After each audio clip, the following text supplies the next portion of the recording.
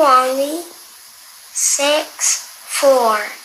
Hear, O Israel, Yahweh, our God, is one Lord. All praises to the Most High, Yahweh only.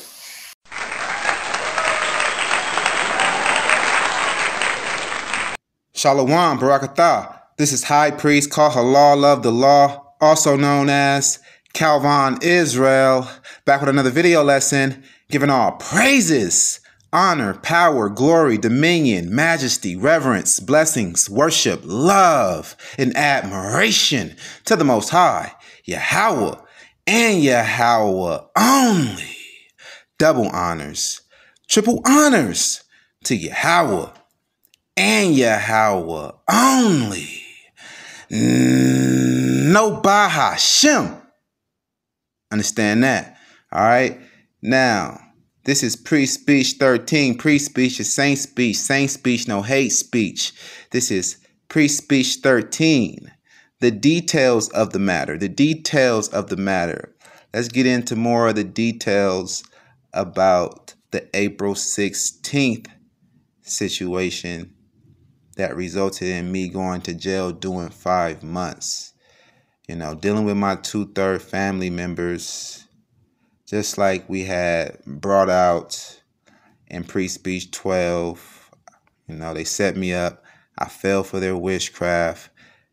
You know, they pulled up to my doorstep. They pulled up and provoked me to violence.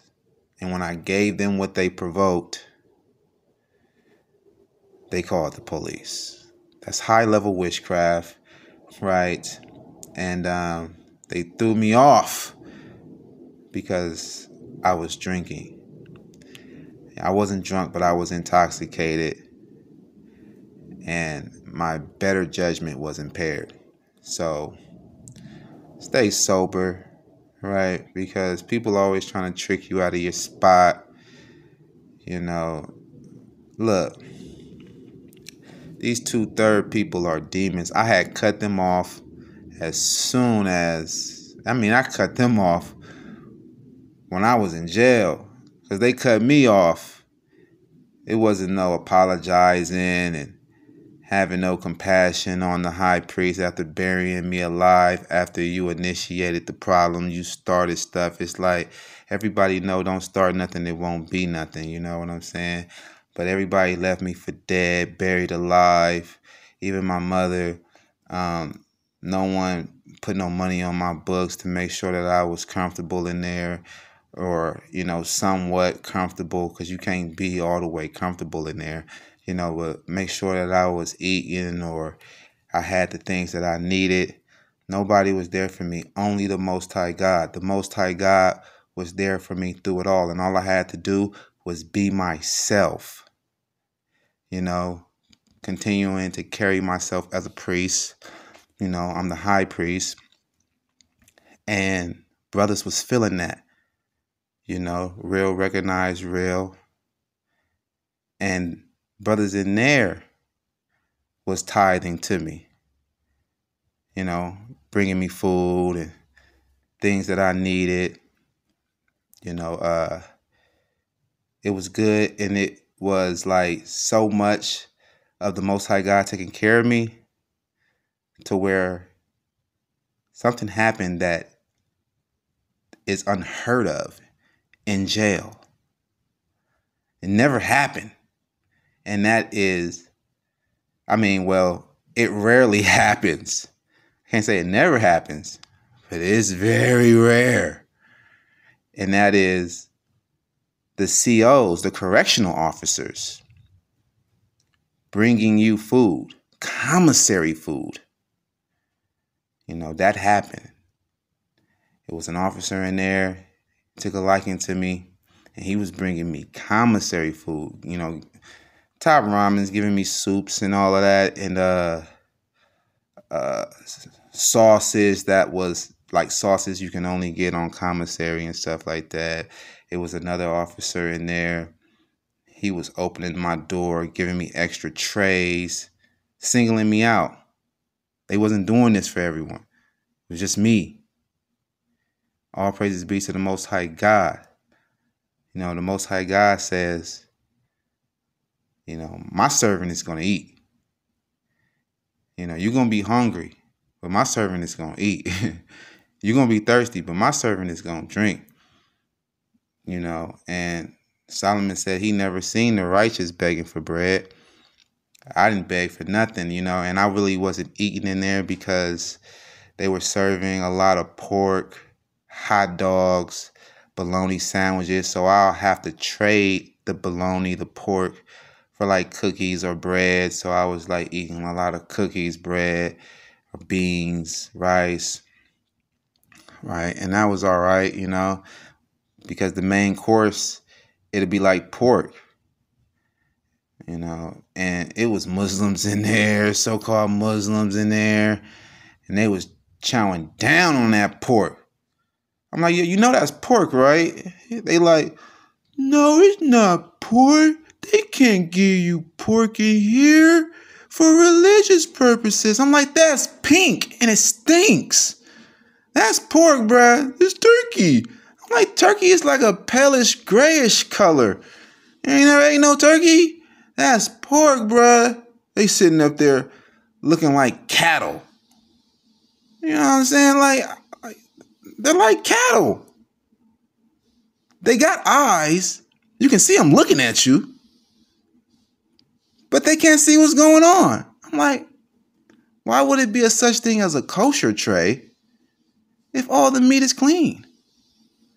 And they wouldn't give you the kosher tray if you don't know the Yiddish and you don't have a rabbi and a synagogue that you go to out here. You know, they give you a little questionnaire.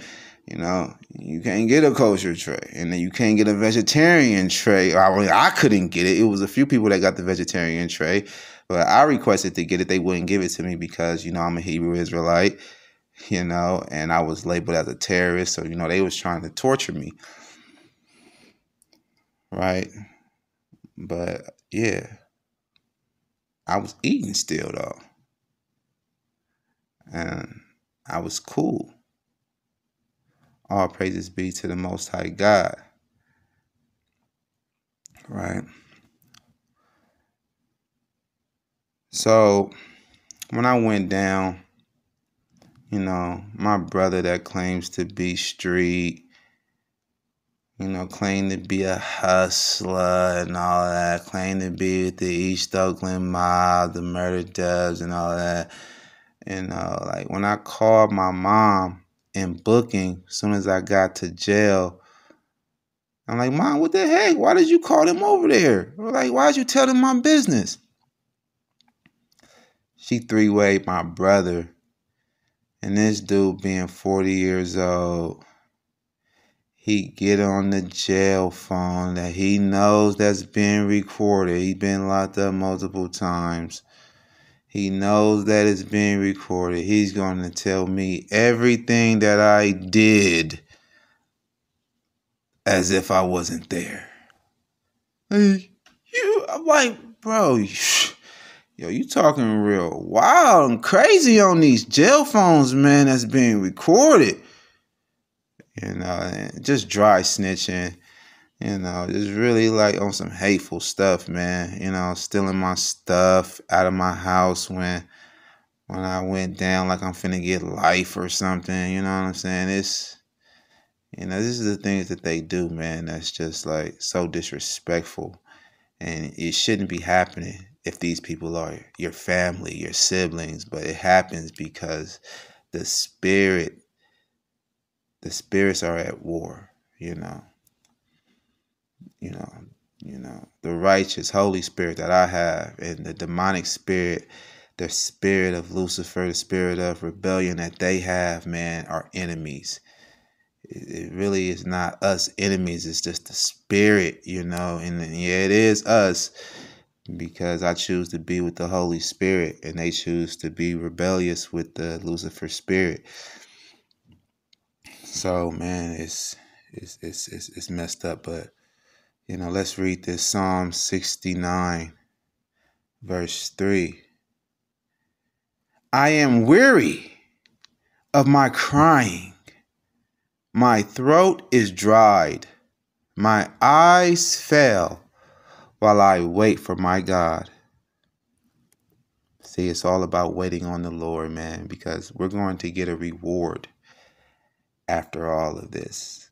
After dealing with the wicked and them mistreating us, hating us without a cause, causing problems where there ain't none, it's going to be a reward. We just wait on our God and we be waiting in sorrow, we be mourning, but we wait on our Lord. They that hate me without a cause are more than the hairs of my head. They that would destroy me, being my enemies wrongfully, are mighty. Then I restored that which I took not away. Right? King David was going through the same thing. Right? And uh, so many times that I restored the relationship that I did not destroy. So many times, you know, I come and apologize, and it's like I can see my fault in things. You know, I can take ownership for my part, but people want me to take responsibility and accountability for their part. They don't want to take responsibility for their part in the matter. Like you initiated it you provoked it. Yeah, I, I took it there and I took it rather far. I probably went too far. And I can take that. But don't start nothing, it won't be nothing. Everybody know that. But y'all don't want to take y'all part. All right, it's all good, you know. Uh, I'm not restoring that no more, you know what I mean? Oh God, thou knoweth my foolishness and my sins are not hid from thee. So we never on that uh we're sinless and we're holier than thou. We know that, you know, uh we fall weak. We fall weak, but we don't give up.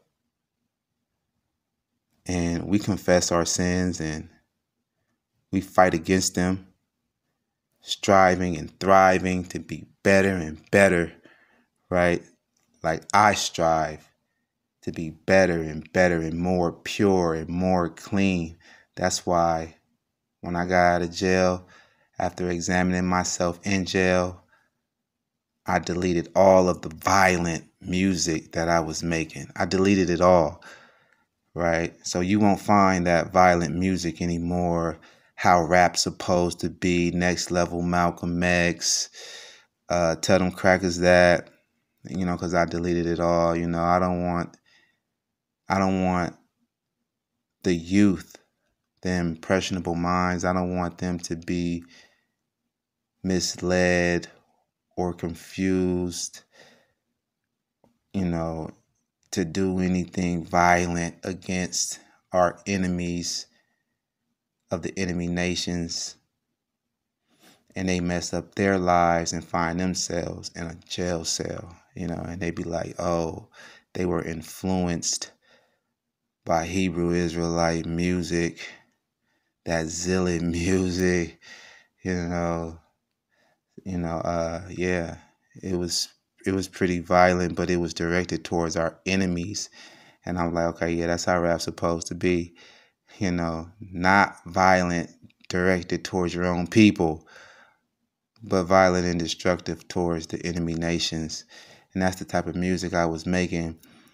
But I'm like, you know, that could influence somebody to do the wrong things and get themselves in even more trouble here in captivity and be put in a jail cell. And I don't wish jail on my worst enemy, right? And anybody that leave you for dead in jail do not love you, you know. Now, my congregation, they didn't know where I was at, you know, so I understand that. Um, but yeah, people that know and they leave you for dead, man, they don't love you, man. You know, like I said, I wouldn't wish that on my worst enemy. But uh yeah, I deleted that music, man. Cause we fight against our sins and we steady trying to you know, perfect ourselves, right? Let not them that wait on thee, O Lord God of hosts, be ashamed for my sake. Let not those that seek you be confounded for my sake, O God of Israel. Right?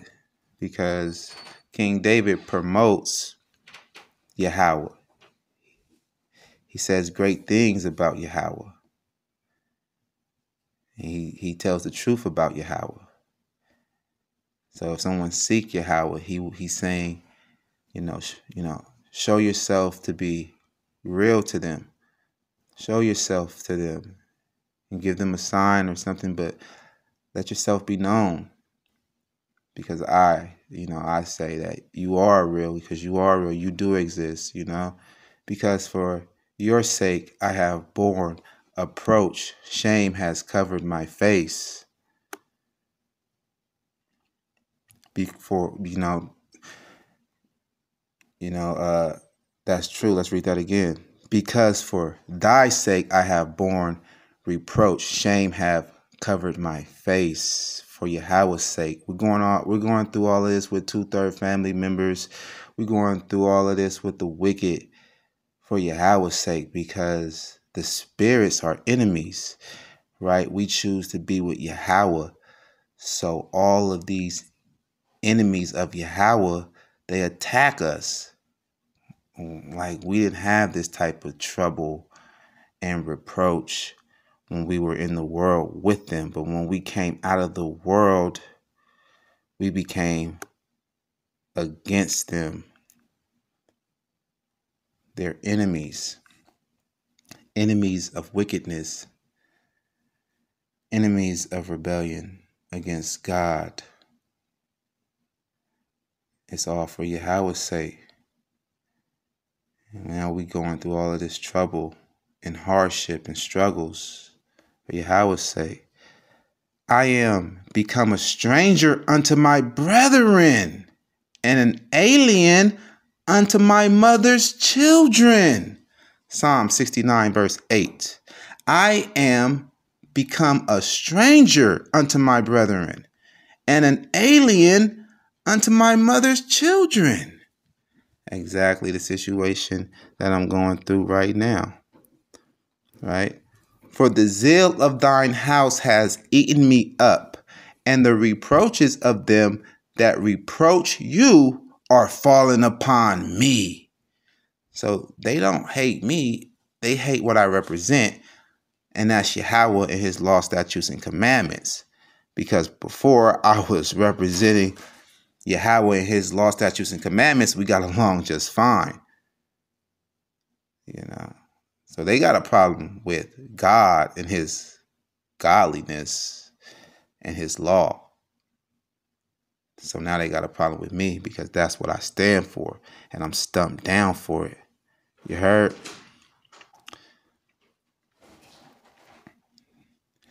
When I wept and chastened my soul with fasting that was to my reproach. I made sackcloth also my garment, and I became a proverb to them.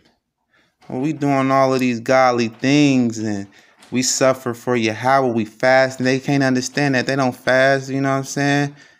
You know, we doing all of this stuff for Yahweh. We change up our diets and everything. You know, I tell my brother, to keep the Levitical dietary law.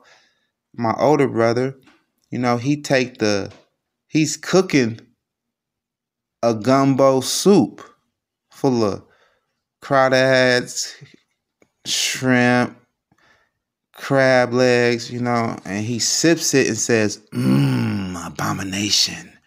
Just completely wicked. I made sackcloth also my garment, and I became a proverb to them.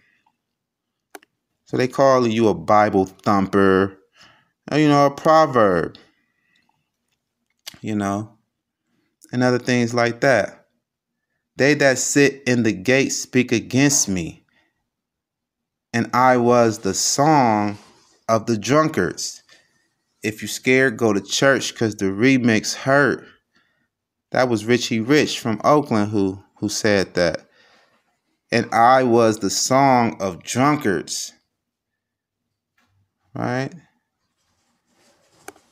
So, you know, this is real. This is real. And this is what our forefathers went through as well. And we're going through the same thing in this new day. But as for me, my prayer is unto you, O Yahweh, in an acceptable time, O God, in the multitude of thy mercy. Hear me in the truth of your salvation. Deliver me out of the mirror and let me not sink. So deliver me out of the mud and let me not sink. Let me be delivered from them that hate me and out of the deep waters. Let not the water flood over me, neither let the deep swallow me up, and let not the pit shut her mouth upon me. Right? And the Most High God does that. The Most High God does protect us. And it always could be worse. It could have been worse. It could have went, you know, completely left. You know, and it could have been more hurt brought my way. You know, all praises be to the Most High God. It wasn't more hurt brought my way, you know, but this is why I had to rain down judgment, you know, and why I slapped them. This is the offense that they made. Let's go to it. Exodus 22. They provoked it and they were being really disrespectful. And this is why it got physical. Exodus 22, verse 28. Thou shalt not revile the gods, nor curse the ruler of thy people. You know, so they see me. I always been the ruler of them. You know what I'm saying? Like even what they represent now in wickedness, before I was in the truth, I started it. I named it. I created it. Right? So I've always been the ruler, and I'm standing up in righteousness now. High up. Higher than the cost of a Rolex watch. Higher than a fur coat. The high priest up high, hovering. And they know that I'm real lethal with this knowledge. So I am the ruler of the people, of our people. And they know that I keep telling them that this is not a religion, this is about our nationality, you know, and about, you know, the laws of our nation. Our constitution is the commandments. Thou shalt not revile the gods, which is with a little g, it means judges nor curse the ruler of thy people. And that's what they did. They broke this commandment and got slapped up. And let's go to Proverbs 18 and 6. Proverbs 18, verse 6. Proverbs 18, verse 6 A fool's lips enter into contention, and his mouth calleth for strokes. So a fool's mouth invites a beating. With your mouth, watch your mouth. Right? You don't want to sin with your lips. And let's close it out with this here. Let's go to Proverbs 37, verse 23.